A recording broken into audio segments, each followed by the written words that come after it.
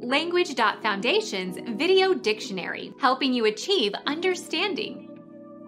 A new convert being taught the principles of Christianity by a catechist.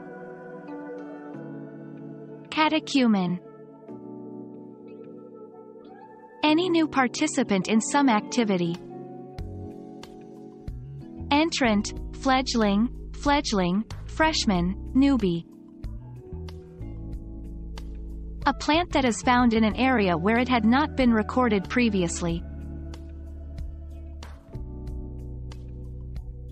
Become our student and get access to effective and free educational materials.